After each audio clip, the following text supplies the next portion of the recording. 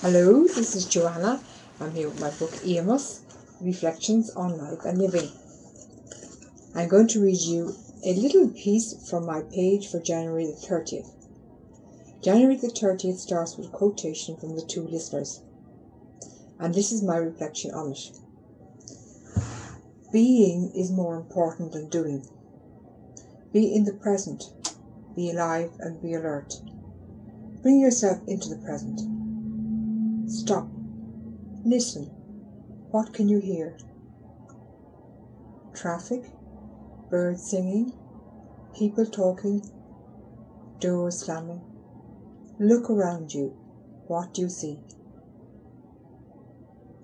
That is an extract from my page for January 13th from my book Iomas Reflections on Life and Living.